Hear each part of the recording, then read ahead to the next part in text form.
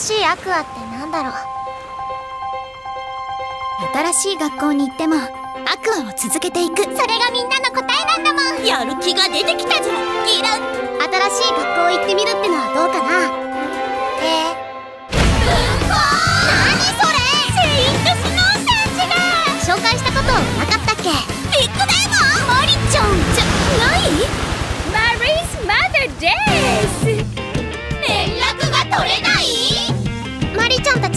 3人はどこに卒業旅行に行ったんですか？ここ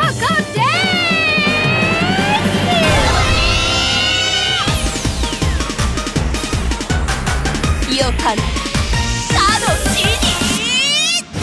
だってワクワクしたくてさせたくて一つになって中世にタイムスリップしたみ。たいそこお姉ちゃん行方